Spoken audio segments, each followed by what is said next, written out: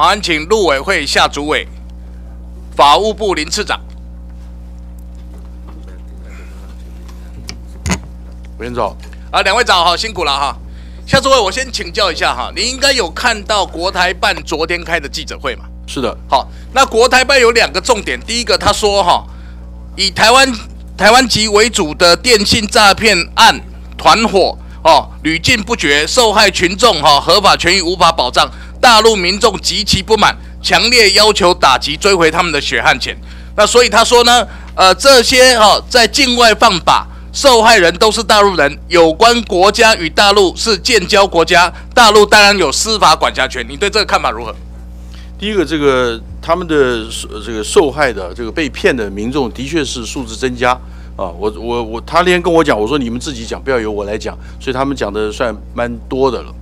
这是第一个，第二个，他们这个有管辖权。我想根据在在这个国际的这个刑事管辖权的法律上方面，这个我们是基于国际原则，我们有管辖权；大陆是基于结果地的原则，他们当然也有。这是一个管辖权。所以我们现在陆委会的原则还是希望就是呃，二零一一年定下来的原则。我们希望按照这个原则来依照原来这个原则继续进进行嘛，对不对？是的。好，那夏主委你请先休息哈，我请教这个法务部林次长。是，林次长。呃，今天在大家都在讨论，特别是法务部最近的发言呐，哈，我们来讨论一下哈，请您先看下面这一页哦。我想你跟先跟大家厘清几个观念哈，什么叫做引渡？引渡就是国家跟国家之间定有条约，然后依照条约的规定把人犯人犯引渡引回去嘛，对不对？这个那在肯雅这个案件，这个没有嘛？他不是用，他不是用没有签约嘛？对对。什么叫遣返？前环就是没有引渡条约之下把人弄回去，就是用驱逐出境的方式。那遣返哪里？遣返就是遣返他从哪里来的国家？对对，从遣返从哪里来？遣返遣返哪里去？来，那什么叫属属人主义？属人主义就是我们讲的，就是国籍的主义。对就是这个这个人是哪一个国籍，就怎么处理嘛，对不对？好，好，什么叫属地主义？属地就是以犯罪地为标准。属地主义里面还有两个两个概念嘛，对不对？一个积极，一个消极。对，就是加害人跟跟一个是犯罪发生的地点，一个是犯罪结果地嘛，没有错嘛。好，来来来，我们看再下下下一页。其实你刚才讲的就是这样，来再下一页。那其实现在唯一有争议的是所谓的属地主义。就是说，犯罪行为发生地，还有或是犯罪行为的结果地嘛，没有错吧？那犯罪行为发生地应该在肯雅嘛？肯雅哦，那肯雅也处理过了嘛，对不对？那现在就是犯罪行为的结果地，那犯罪行为的结果地在哪里？犯罪的行为结果地就是说，他大陆也被害。就是这样，就是他他自己就是大陆宣称的所有的受害人都是大陆人，所以应该在中国处理。是，他他们这个就是他们的主张，他们主张管辖权唯一的理由嘛，对不对？好，那我请问哦，这件案子我们以我们保护部的立场，我们保护部知不知道所有的受害人都是中国人？没有台湾人，我们我们现在还不敢确定，还在还在跟他争执，对不对？所以我们才主张国籍主义，没有错。所以我们还没有确定过是不是全部都是中国人受害嘛？现在现在现在案情还不明，那有没有看过任何的证据？没有，到现在还不太了解，对不对？还不了解。所以大陆的主张说，呃，中国的主张说，他们要属地主义，就是因为犯罪结果地，所以他们有管辖权。这个我们保护部应该持保留的态度。我们持保留，我们还是主张刚才是国人主义。对，我们认为是依依照国籍就是属人属人主义嘛，没有错吧？这是保护部的我们的立场，你们的立场好，确定哈？是，因为你的属定，该你的户属定共了，那我们讲那样。我我我我我在这里，你代表保护部确定这个立场，好，所以我们确定。陆委会的立场很清楚，就是二零一一年所定下来的哈，这个各自处理。那保部的立场也很清楚，就是属人主义，而不是属地主义，没有错吧？对。好，来，我们来看下面。来，我先这个先等一下哈，我先问一下哈，市长，我们刚刚一直在讨论二月十六号有一个会议，对不对？二月十六号这个会议，刚才你刚刚所说明你回答的重点，你回答其他委员告诉我们说，你们法务部经常在开。有时候是经常性，有时候非经常性嘛。我请教你，二月十六的这个会议是经常性的会议还是非经常性的会议？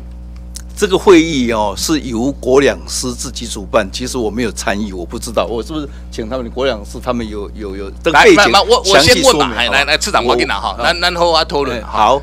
二月十六号这个会议是定期会议还不定期会议？这个是定期会议，不是？他说不是定期会议，不是定期会议嘛？所以是依照特定主题所开的会议，对不对？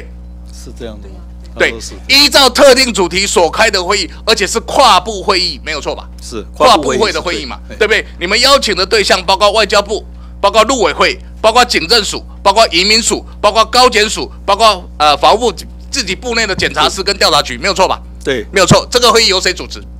那个好像是由陈司长主持，没有错吧？对对，好，陈司长主持一个跨部会的会议，哈，老起共了哈。我做政务官的经验了，跨部会会议不会由一个司长主持的，对，通常至少都次长啊。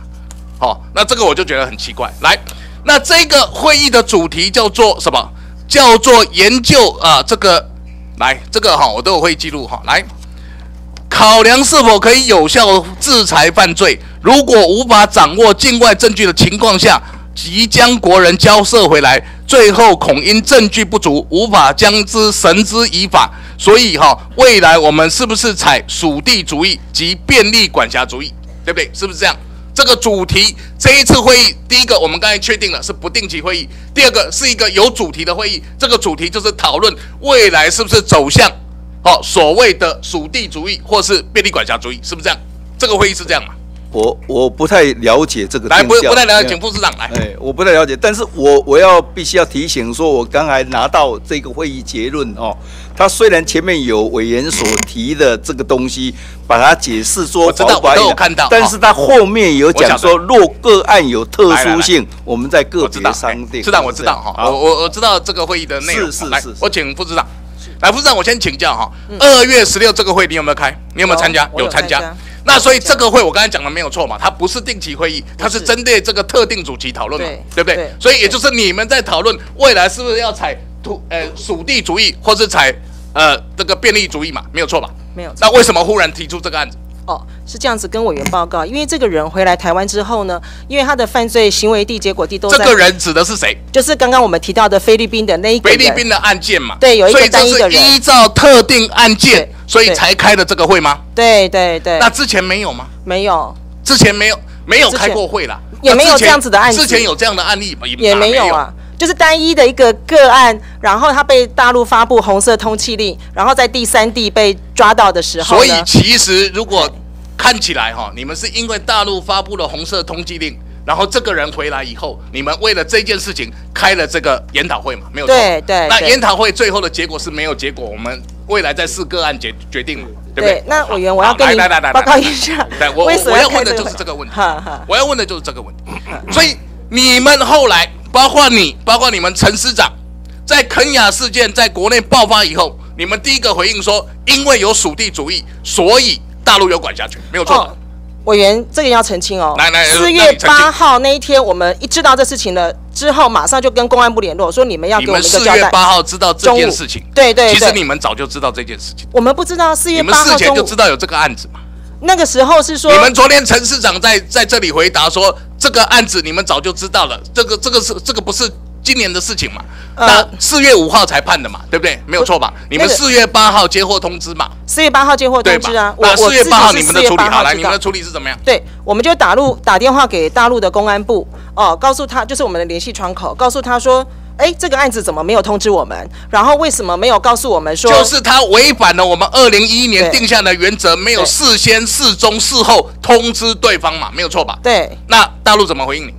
那他他他就说他不清楚状况。他不清楚状况。对，然后那？所以你们包括你个人，包括陈市长，你们曾经在媒体上说过说，因为有属地主义，所以中国确实对这件事情也有管辖权，没有错吧？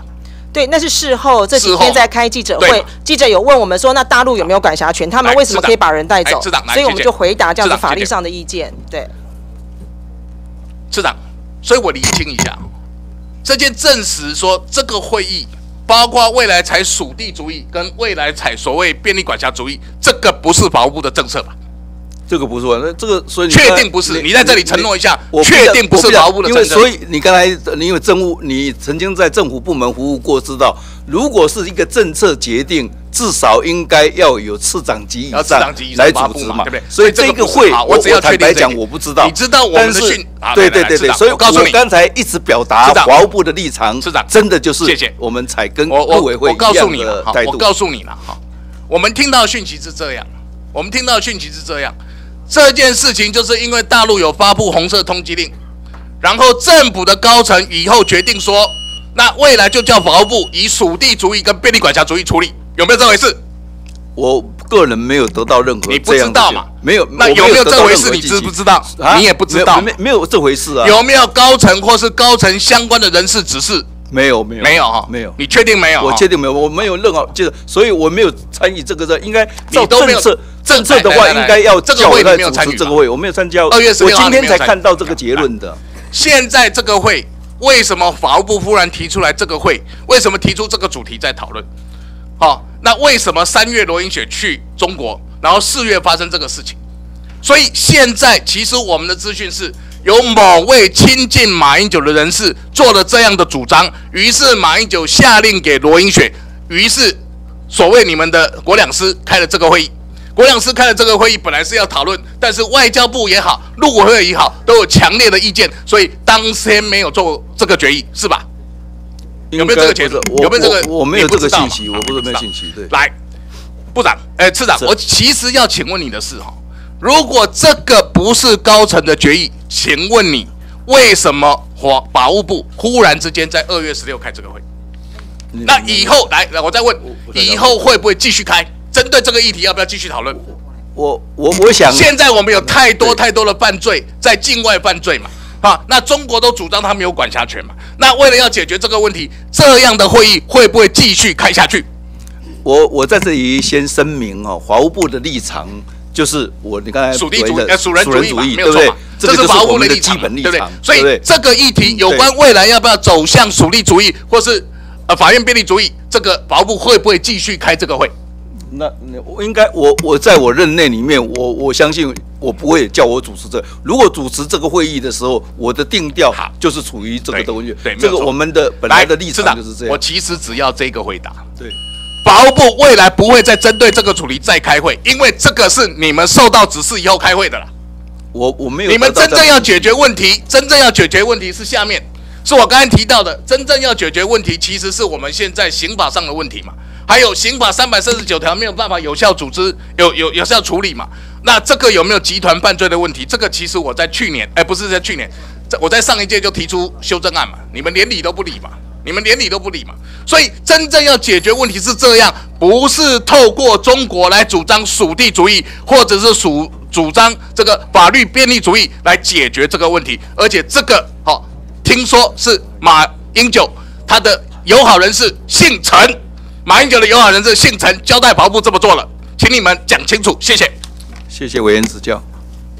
这个这个我越听越糊涂了啊，因为昨天。